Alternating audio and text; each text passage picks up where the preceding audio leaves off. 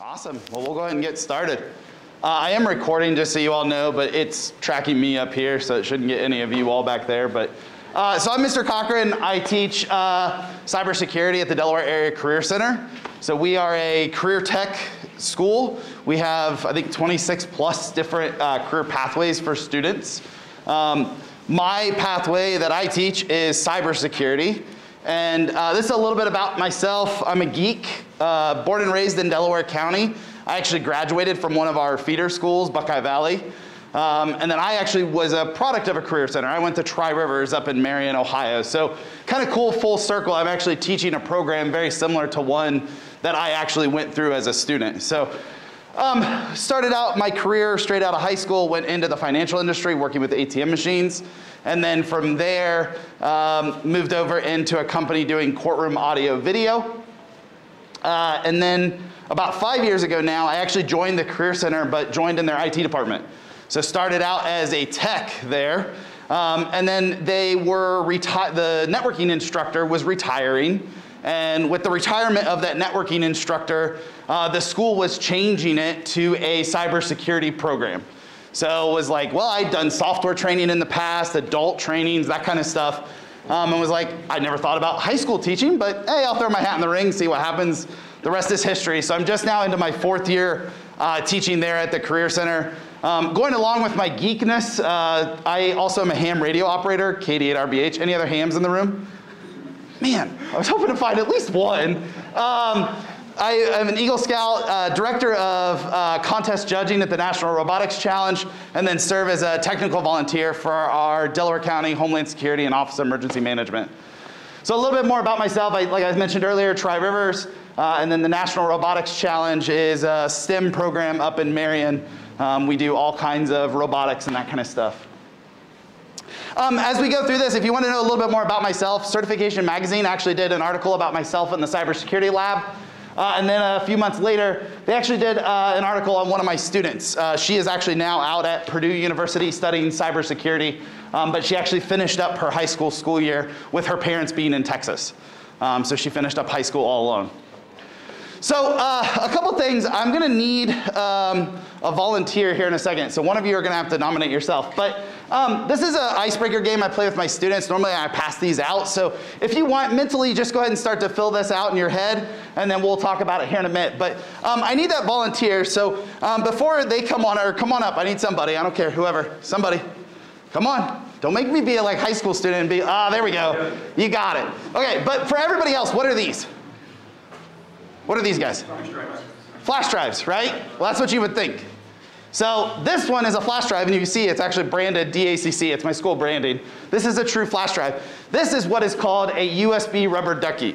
So a USB rubber ducky is a keyboard injection tool. So it is a tool that basically inside here, this is a keyboard is what the computer thinks this is.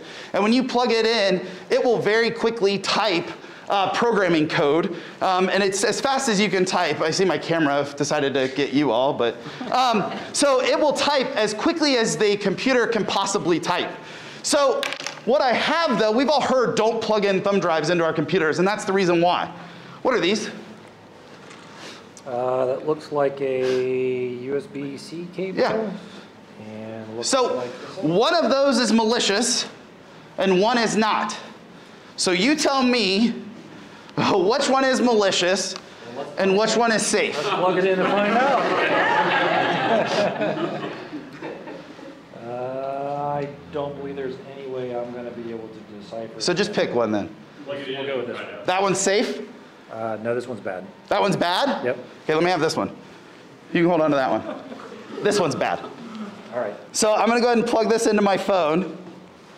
So I'll go ahead and take that back from you. What you're gonna see is my phone's gonna turn off here in a second. Thank you for being a good sport. There you go. Oh, thank you. So my phone just turned off. Hold on, don't go anywhere. But here in a second, my phone's gonna turn back on.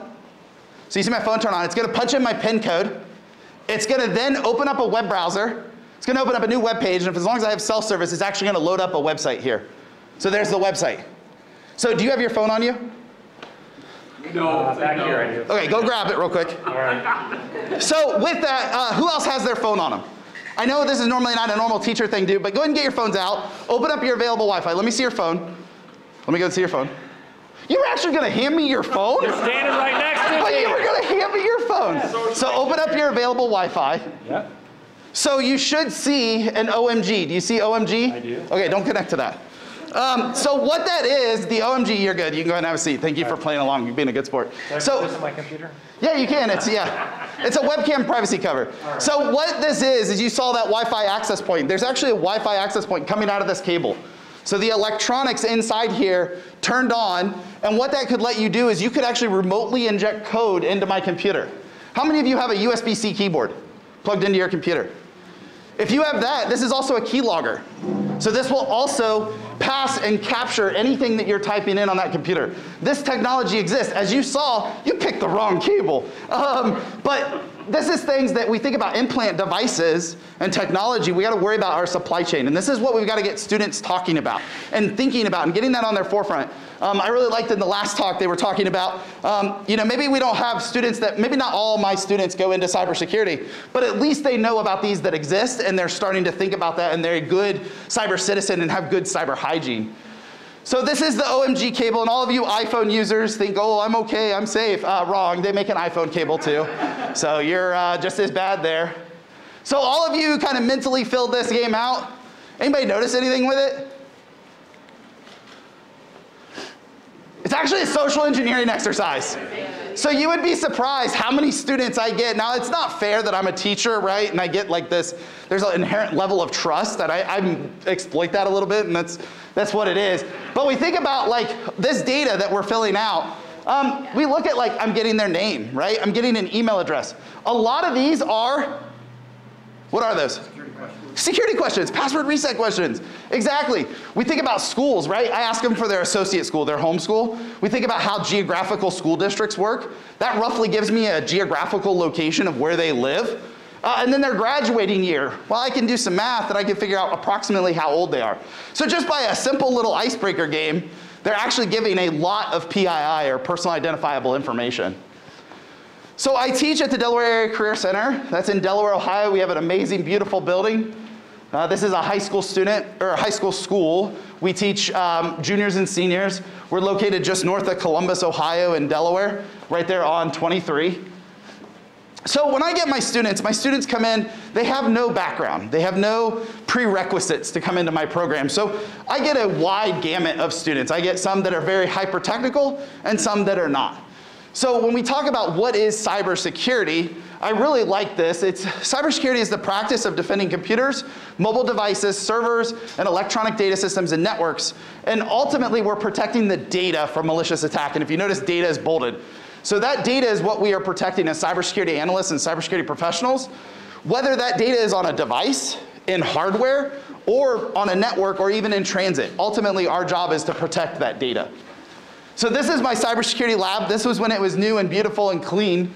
Um, at the nature of our business, we do computers and that kind of stuff. My students start out with basic hardware and software. Uh, it gets a little messy, but that's our uh, cybersecurity lab there. These are some cool and amazing projects that my students have done.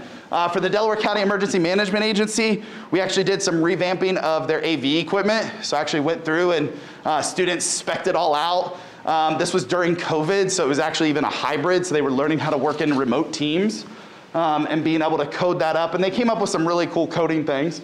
Um, we've got some other cool things. This one I really like. Um, all of our students wear an ID badge, and it has a barcode on that ID badge. And that's what they are supposed to wear every day, but the school really doesn't use it for anything. Well, one of my students coded up a program on a Raspberry Pi and a touchscreen with a barcode scanner, and that's what we use for the bathroom check in and check out. So that actually, when they scan it, puts their name and a date timestamp, um, and then they, they, a student actually coded that. One of my other students saw that the year after and was like, that's really cool. Uh, I'm gonna go one step further, and they made me an attendance system. So up at my desk, when all my students come in in the morning, they scan in, and it removes their name from a list, and when I scan my badge, it shows me the names of students that are absent that day, so I can quickly get attendance. Some of the cool stuff that we have in our lab is we have uh, some server and networking racks. I was very fortunate when the school um, put in the networking lab that ultimately became our cybersecurity lab. Um, they actually put in a separate network in that lab. So I have a completely air-gapped network um, on my system, and that's our networking rack. This is all student-driven. So we actually have 10 gigabit fiber in there. We have a server rack in the other room. Um, and then we run um, Proxmox, so we can actually do um, our own kind of cyber range in-house um, in our air gap network. But again, 10 gigabit fiber. We have a Raspberry Pi cluster. Um, we've got some servers up here. We've got a smart mirror. Um, and then our whole network stack. And again, this is all student driven. So students are getting hands-on with fiber, with networking, IP addresses, dealing with that infrastructure. We also added a door access control system. So that actually is how you get into the secured server room. Only a certain amount of students are authorized per week to get into the server room, and then that's all data logged. So this is a promo video. Um, I don't know if we're gonna have a lot of time, but I do wanna play this at least. It's only about one minute long. Um, this is one of the programs, hopefully my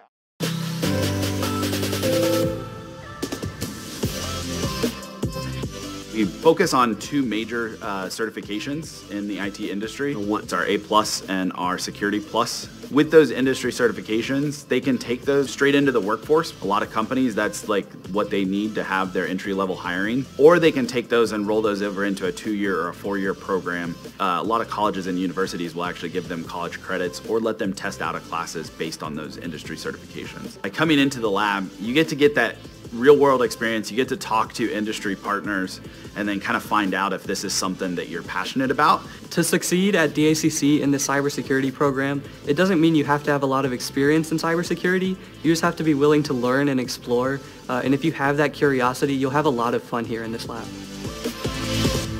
A real quick little intro video of our lab. Let's keep moving on. So rules, when we talk about cybersecurity in high school setting, everybody instantly goes, oh, uh, are we really gonna let students do this? And it's like, well, yeah, but we have to have a framework.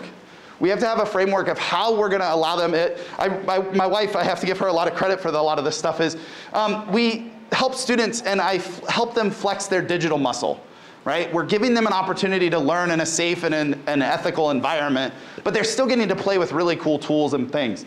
So we have policies. Well, what's cool about these policies, these are actually student written policies.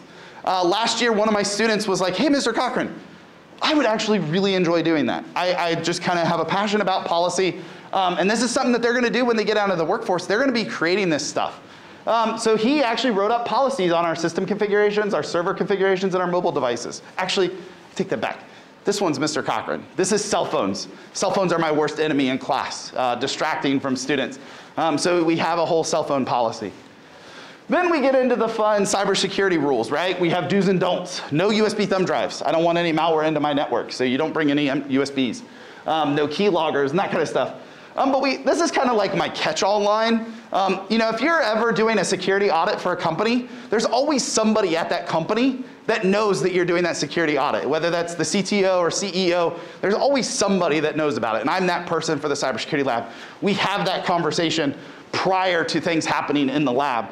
But I'm all aboard. Let's have some fun. As long as we're not like destroying physical hardware because I don't have an infinite budget. Um, as long as it's software stuff, let's have fun. Let's play with it.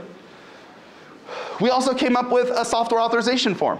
So we think about software that needs to get installed on our computers that might be outside of our curriculum, but we still want to play around with it. So we just came up with a little simple form that we vetted the software, it looks good, um, and Mr. Cochran or the IT department will be the ones that download that, not the students. So the reason I'm here, my students, right? So at DACC, we start them pretty young. Okay, I'm kidding. This is my son. It's kind of hard to see. Um, he's like two in that picture. This is about the only picture you'll find of him ever online. Um, we don't show his face. That's just a personal thing. Um, we've kind of done that. But I thought this was kind of funny. He sat at one of the computers one day in my classroom. He loves going into daddy's classroom. Um, but these are my actual students. So uh, like I said, I'm just now into my fourth year. So I've had three graduating cohorts. And you're like, well, I see two. Well, 2020 happened. We had COVID. They didn't have a graduation. So sadly, I didn't get a picture with my first ever graduating class. Um, but this is my students. Um, anybody see any problems with that picture? Anybody? Yay, there we go. So no female representation, right? There's only, I've got literally three here and two up there. That's a problem. But when we look at it from an industry standpoint in the cybersecurity, there's only 24% representation by female. So we need to fix that. Now I'm sitting in my lab at like 10%. That's a problem. That is a major problem. We need to start having those conversations earlier and earlier with young women about, hey, you can do cyber, you can do IT stuff. Sorry guys, it's nothing special. Um, but we can get more females in. So my school did a really cool thing with girls in tech. Uh, so these were a couple, these actually two girls graduated last year. Uh, these two down here are my current seniors. Um, but this was out at BPA. They actually won some awards. Uh, this one went on to uh, National BPA for website design and security design. Um, but they did a really cool thing highlighting the girls in my classroom. Some more pictures of my students. Our BPA, we got quite a bit of trophies you see. Uh, this student went on to nationals uh, and ended up coming in second place in Linux operating systems at nationals. Um, so it was a runner up. We had three uh, first places in the state of Ohio, one in Linux, uh, computer security, and then website design. And then we had a couple other Linux and a Python follow up winners. Uh, this is that website design team. This was actually a cross collab lab. So it was not only my cybersecurity lab student, but we also had an app dev student and a couple digital design students.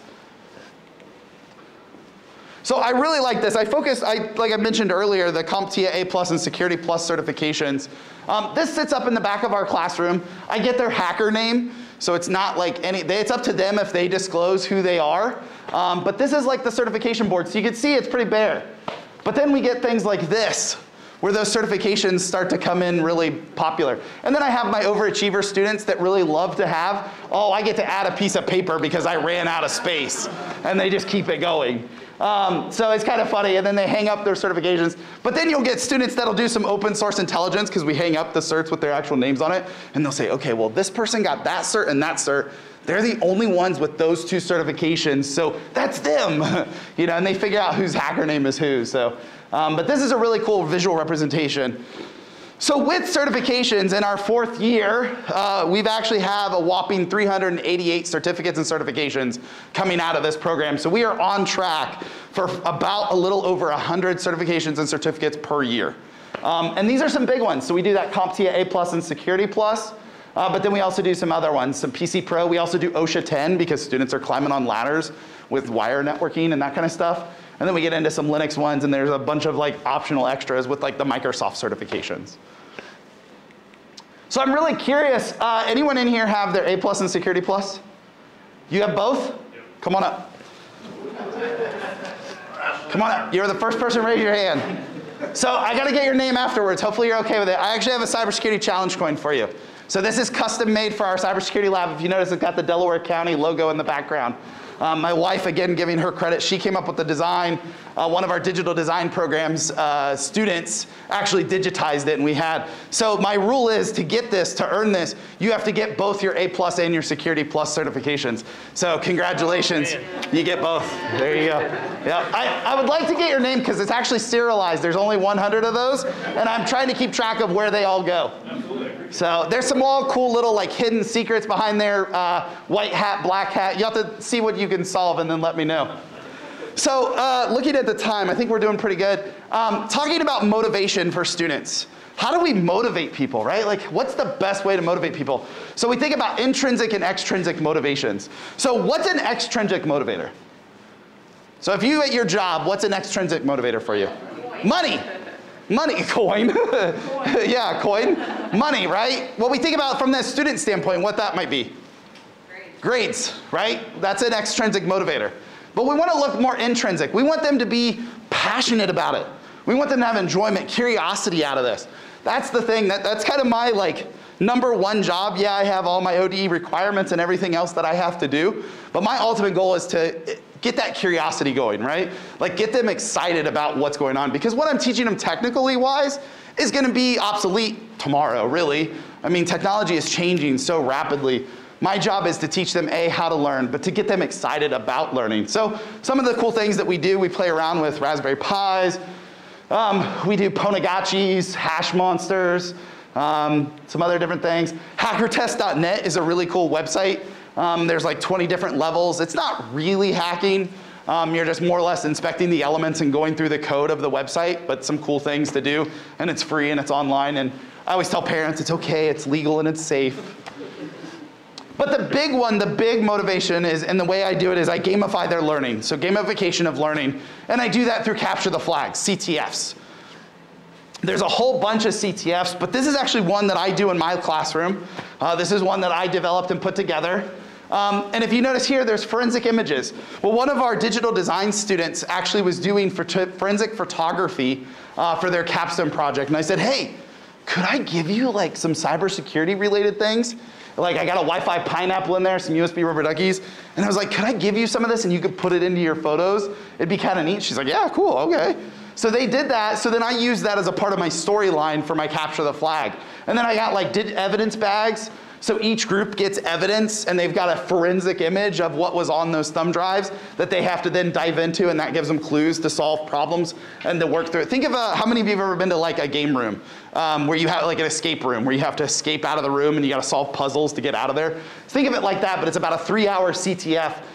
Um, and then they have to break into the closet and then when they get into the closet they can get their access codes. So that's one way I gamify learning. Um, I don't have audio, sadly. This was a, a, video I did of me talking about that capture the flag. Hey, Mr. Cochran here in the cybersecurity lab.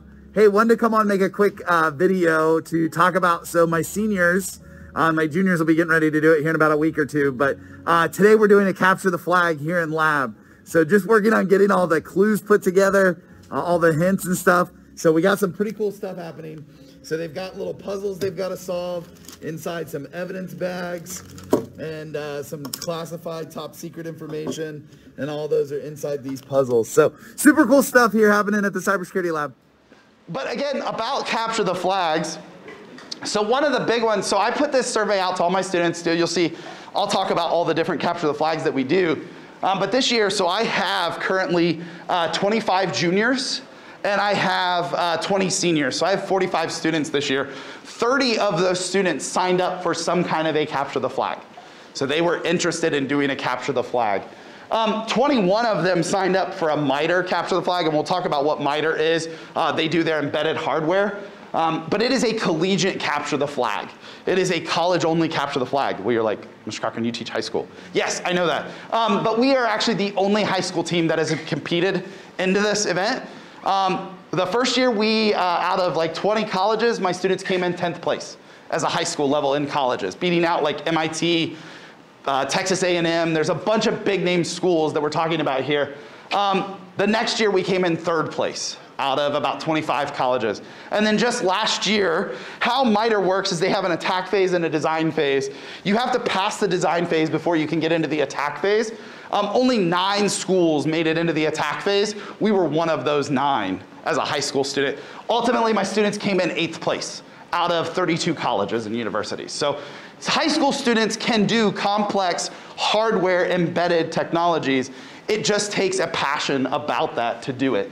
Um, so you can see we got an honorable mention for uh, dedication and perseverance because we made it in at ninth place, but we made it in five minutes to spare. They were, but they, hey, they made it in and they were going for it. Um, this is one of my students at Purdue University. Um, she was really big into the capture the flags and stuff, so I said, hey, would you come in and talk to my students when she was a senior? I said, come in and talk to the juniors, get them excited about it. So she actually put this slide deck together and came in and I try to empower my students to do this kind of stuff. Um, so she actually came in and did a presentation all about the different capture the flags. So Pico CTF, um, CSAW, CyberStart, National Cyber League is a big one. Cyber Patriot put on by the Air Force, and I know I'm going through these pretty quickly. See me after, and I can give you direct names and stuff if you need. Um, Cyber Patriot, this is put on by the United States Air Force. This is a big one. It actually starts uh, next week for us. It's this week and next week. And then the MITRE eCTF, that collegiate capture the flag event. So with that, I also asked uh, programming team lead uh, last year. Um, they both came in and gave a presentation specifically about um, the MITRE capture the flag, trying to recruit, right? Because that's one thing I really do is I try to have both juniors and seniors. So there's that knowledge passing. So I have uh, different team leads and that kind of stuff. Um, so they talk about like what they do and go through that kind of stuff. This was more for students, but I wanted to show, this is a PowerPoint that they put together and they created to show it off. They even came up with some prereqs. So they actually had to go through and fill out um, if you wanted to be a part of the team, you had to go and fill out this information. And it just involved kind of some open source intelligence. There was really no right or wrong answers. It was more, are you putting the time into it? Are you really curious? Are you really passionate about it? Um, one of my favorites was, and I actually went out to MITRE and gave a talk out there with them about this. And uh, one of them in here was, uh, there's a typo actually on their website. And they were like, wait, where's the typo? And I was like, I'm not telling you, because then you'll go fix it and then my form doesn't work. Um, but the goal was to get students to really read through things and to look through things. Again, um, we have our, um, every year with the MITRE Capture the Flag, they have to do a, a, presentation that they get to present to the other schools. So these are our presentations. They're on a private playlist. Um, I talked about that third, pl uh, 10th place. This was literally the team for that first year. There was actually three students. Uh, the one chose to not be in a picture, um, but there was actually three students that first year and they came in 10th place. This year we had about four students that year and they came in third place. And you can see there's some big name schools that they beat out. So um, they're right there at the ACC and you can see some of the bigger name schools. And then this was last year, there's the schools, and then there we are right there in eighth place. And I did have to, I, I sorry, to throw this into your face again, um, but uh, we beat out Michigan State University. So my senior that graduated and started a team up at Michigan State, we beat him, right? So that was one thing we had to do. Next year, this year, um, my student, she's actually went out to Purdue University and I, I keep on her about starting a, a, a, MITRE team there. So now we have to beat Michigan State and Purdue. Um, and we might have another couple students at the Ohio State one. So this was a, a the MITRE team meeting out in the hallway. Um, I also, when I posted this online, I actually, if you notice here, I blocked out the TV. Um, so other teams couldn't get like private information and get a leg up on them. So making sure that you're paying attention to those background data that you're putting out there um, so other teams can't use open source intelligence. This is how the students manage. Um, how are we on time? Okay. So this is how students manage. They use a Trello, and I had to zoom way out on that Trello board. Um, but this is how they keep track of all the different tasks and challenges that they have to do. And they assign roles and that kind of stuff. And when we look at the different roles that we have, um, these are some of those challenge or those uh, Trello boards different things that they have to do. And they, we also put some student resources like, hey, if you want to go learn Python, here's where you can go learn Python. If you want to learn C++, here's where you can go to learn that. So empowering students to take on their own learning. Um, and it's also funny, it was a cool side effect of doing this kind of stuff. Um, I had students, they were doing their lab work at home, their coursework at home. So when they were in lab, they could do this kind of stuff. It was kind of like flipping the classroom on me. That was not something I was actually expecting, but they wanted to get their boring stuff out of the way at home so when they're in class, they could do the fun stuff with their peers um, and, and focus on that. So these are just some of those challenges and different things. We had one student that he, he took on the management of the Trello board and the Slack board, and then he found like an API to merge the two. So when you had something due in Trello, it would also alert everybody in Slack. Um, so some cool things like that.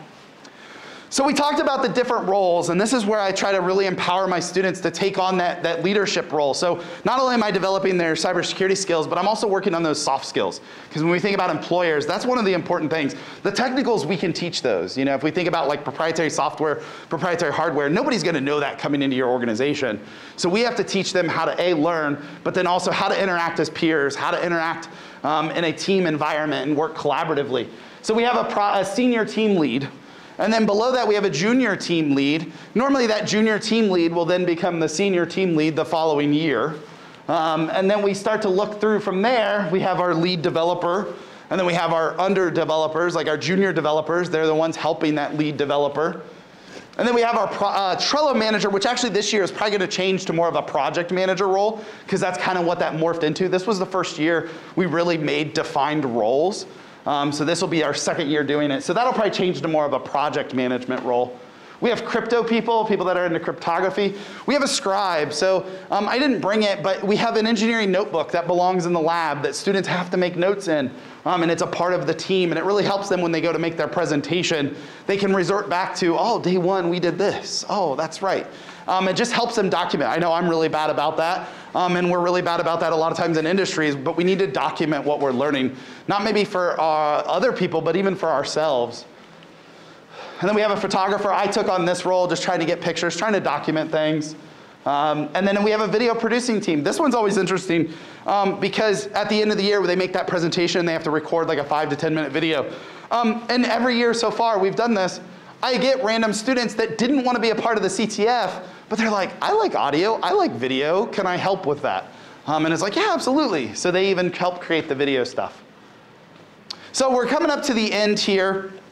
Um, and then I'll kind of open it up to questions and stuff. But just talking about some of the strengths and challenges of the program. I think the strengths of our program is our students. Um, I've kind of talked about a little bit about what they've done, but just really their passion and their dedication to the field and to what they're learning. Um, ultimately, that's the strength of the program. Um, and then acts, having access to stuff um, helps for sure. But there's ways, there's free online resources. People can go to the libraries and get access to computers nowadays. Um, but the really the strength is our students. Some of the challenges in the program, um, definitely like work-based learning stuff. That's been one of my biggest hurdles. Um, Ohio Department of Education is really pushing work-based learning hours on uh, high school students. Um, and that's really challenging, especially when it comes to cybersecurity when we look at that, because a lot of companies and organizations, um, they not only have data policies and procedures, but they're like, high school student? Nope, sorry. We only do this for, high, for colleges. And it's like, I'm sorry, but my high school students can do this, and I, I, respect the, you know, below 18 years old. I get that, you know, a minor to an adult thing.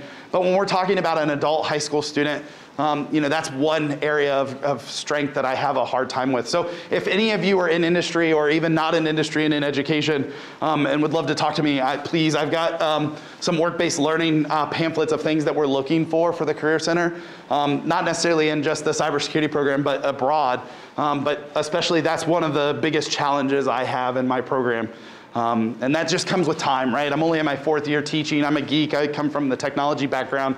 So just figuring out the education side and making those industry connections, doing things like this helps build that. Um, but that's one of the biggest challenges I have. So um, with that, if you would like to get in touch with me or make contact, probably the easiest way to find me for everything is elicochran.me. Um, that's kind of like my portfolio page.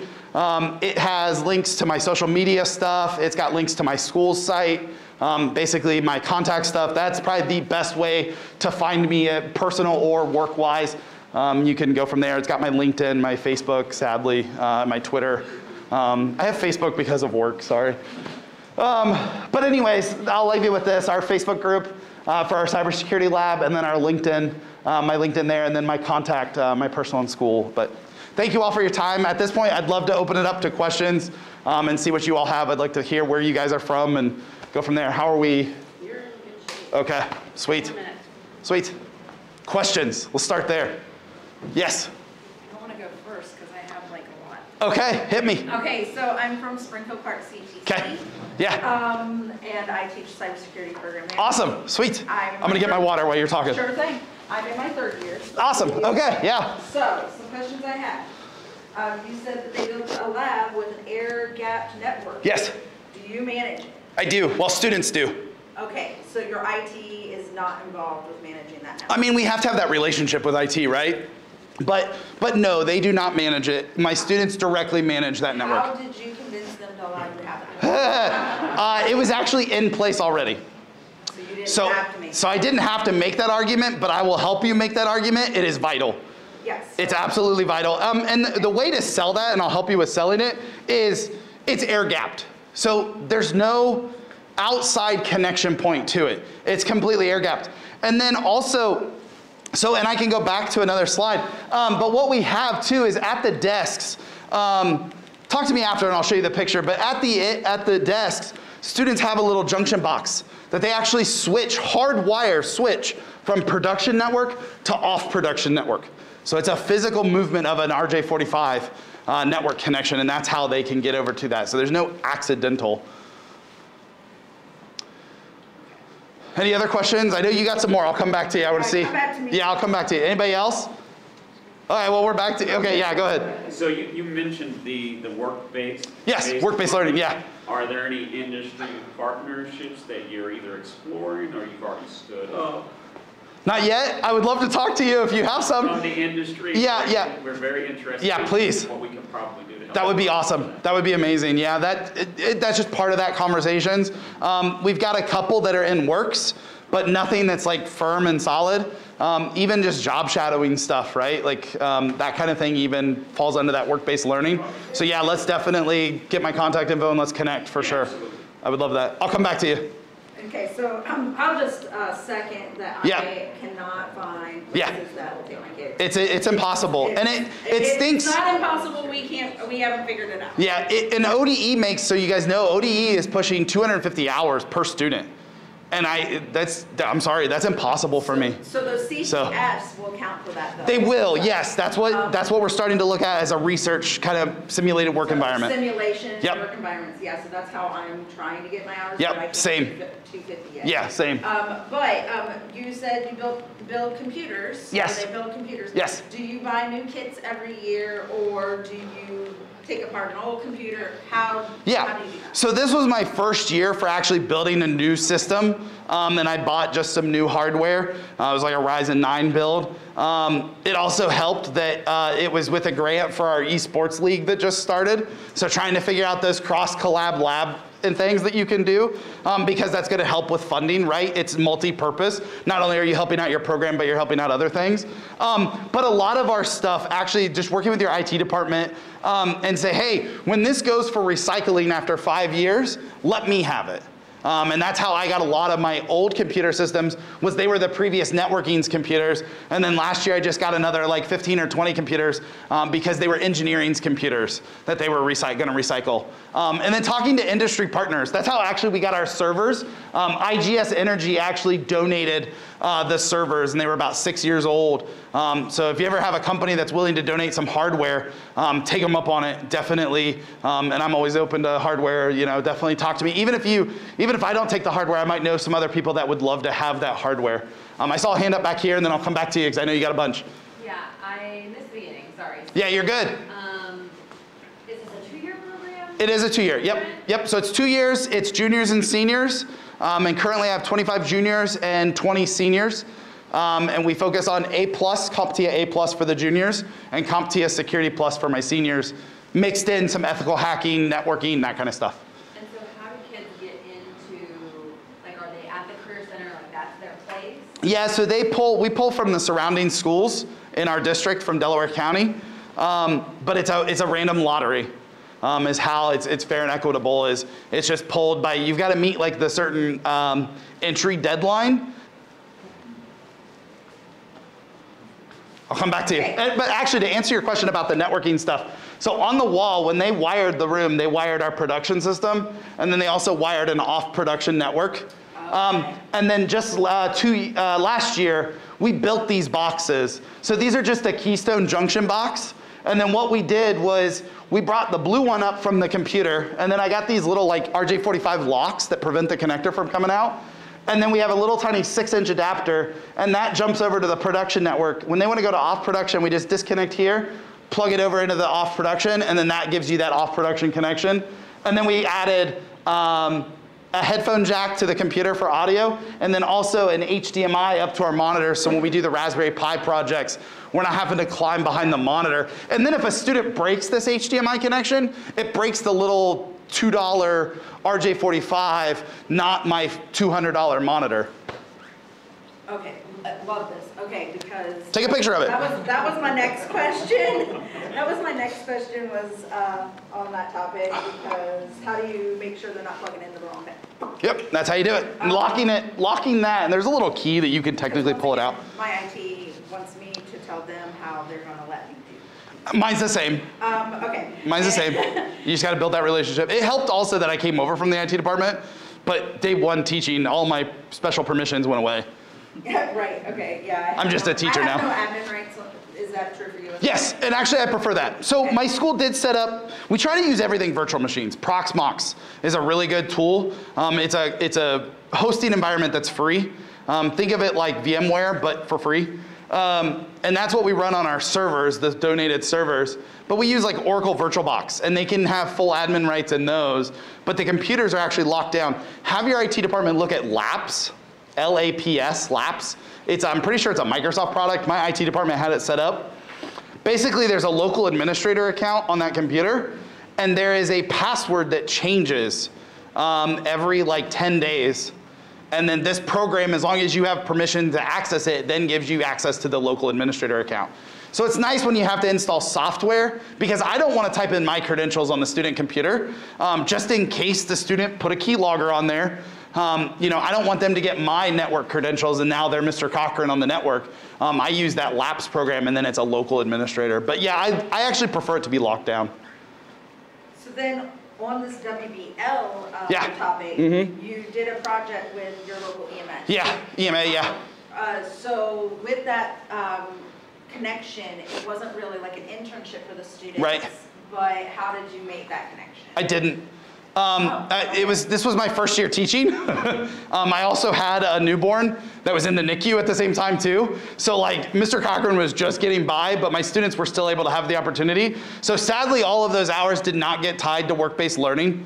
Um, But but moving connection with them? Oh, I, I was a technical volunteer from my ham radio days, um, and I'm still a technical volunteer with them. So that was just a, a natural um, connection there from that. But um, I would just recommend reaching out to your local EMA, your local emergency management agency, and, and trying to, to build that relationship. But um, that was a, a past connection, basically. Gotcha. Okay. I think we're good, right? Code on time? Okay, questions? Yeah, hit me. That's what I'm here for. You're here to learn. Yeah, so thinking about trying to get more females. Yeah, yeah, that's a big one. And starting earlier. Yes would be your recommendation? Yeah, definitely for females, you know, starting middle school, right? Before they're even starting their college pathway or high school pathways and figuring out what they're gonna do in high school, having those conversations then, um, I think is only gonna help. Um, because a lot of times, you know, like if we look at the Career Center, like we look at um, what our school did was girls in tech, but they also did boys in nursing, right? And that kind of stuff. We look at like gender norms in the different labs. So, um, you know, just having those conversations earlier on, saying, "Hey, girls, you can you can do this. It's not difficult. It's and we need that other mind. We need that mindset to, to look at that kind of stuff. Um, it's all problem solving. Need to start um, by like sixth grade. Yes, I would say fifth, sixth grade. Yes, exactly. Yes. Absolutely. 100%. Like right now, I'm sitting at like 10%, 11% representation. Even our industry is 24%. I mean, it's still really low, even in industry. And that's grown over just uh, from like 2013, I think it was even like 13%. Um, so, yeah. So, so Eli, Yeah. talking about females in STEM Yeah. grade, what, what are some activating events or exposures that some of these young kids can get uh, interested in or involved in early? I think CTFs are really, that's one thing that I really can't stress enough. Capture the flags, um, digital capture the flags, hacking challenges, um, just getting that problem solving skill set to come out. Um, get the kids that are curious gaming, right? Like that really helps. But the ones that are like like strategy games, like chess and that kind of stuff, you know, look at students that are have a passion about that because ultimately that's going to work really well when it comes to um, your your capture the flags. Yeah, I think the industry partnerships are good too. I mean, I know. That for we- sure. We actually on Saturday helped the Girl Scouts deliver their cybersecurity badges, the forty Girl Scouts. These are, Yeah. these are fourth grade. Right, right. That's Um, perfect. Yeah. So anything we can do from an industry perspective, or find those industry partners that are willing to support your program, so they can be. Yeah. Yeah, for sure.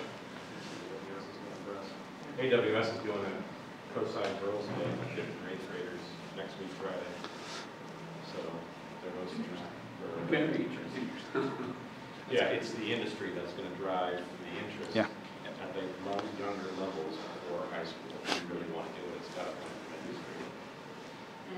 I'd like to, yeah, we should agree that. For, for capture the flags, um, CTFd is a really good tool that I use. We just started using it. Um, but the one that I mainly used for my other capture the flag, it's more, CTFd is more of like a Jeopardy style. You've got, they have a problem, they solve it, they put a key in, they get points. Um, the other one I found was on just GitHub, and then I gave it to one of my students and said, hey, figure this out. And they went through and figured out Visual Studio Code, and they got it up and running, and it's actually a King of the Hill style, um, where there's attacking and defending simultaneously. Um, and then what I did was in Proxmox, um, which is that uh, hosting environment, um, it can even, so talking about your IT department, uh, Proxmox can even take your air gapped, air gapped again. Um, so uh, with Proxmox, you can actually, for your virtual machines, you can put no exit port. So they literally only have access to an internal VLAN or an internal network on the server itself, um, which then they can hack there and it doesn't have an out port. And students access those just by the web browser. Um, that's all they need on their actual computer. So we put on a Windows XP victim system, um, and then I went into the registry and made some known vulnerabilities and put those into the system so then students could attack those and, and hack on those. So that was like our victim, and then our judging computer was like just a Windows 10 box. And the only rule with the CTF was you can't interfere with the communication between the judge and the victim. That was really the only set rule. Everything else was fair game. You could hack the other team, it didn't matter. Um, the other team would have to figure out how to defend against that. What was the name of that CTF? The one that I, I don't know if you talk to me after I can pull it up. It was on GitHub. GitHub. Um, it was about eight nine years old at this point. Um, but yeah, it was just a some guy posted it up on GitHub and Yeah. hey, it works. I have one last question. Yeah, hit me. Your CTFs, are they done part of class or extracurricular? You have that? Uh, extracurricular. So But they stay after school? uh, no, during lab. So um, so I have my students. lab grade. So I have my students for three hours a day. So I have them for a good little bit of time. Um, but yeah, it is done during lab. Um, and this is all extracurricular. I really, I try not to put a grade to it because I don't want to change that motivation, right? I don't want that to go from an intrinsic to a transic, uh, extrinsic motivation. Um, so I really try not to tie a grade to it, especially even the MITRE one.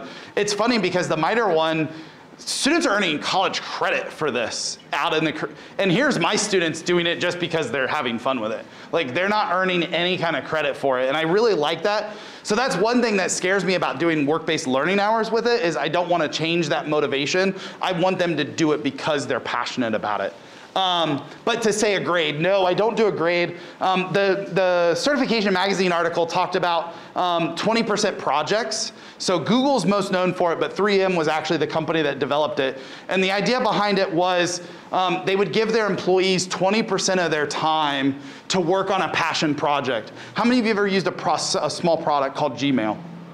Yeah. Um, Gmail was actually came out of a 20% project. Um, and that was where employees got together and made this product. So I can't allot 20%. I try to softly allot 5%. But again, I get students that go home and do their schoolwork. So when they're in lab, they can do the CTFs. So no, the C, and it also helps for when we think about accommodations, right? I have those students that excel, that are gifted, and they go on and do that stuff. But then that frees me up to give more time to the students that are struggling. And you know, that's what stinks about the, the MITRE one is I don't really get to be a part of that as much as I'd really like to be to advise. They kind of have to take it and run with it because that, that gives me time to be in the classroom to work with the students that are struggling with the course material. Time's up? Yep. Okay. Thank you all for your time. I appreciate it. Um, please connect with me. Like I said, I've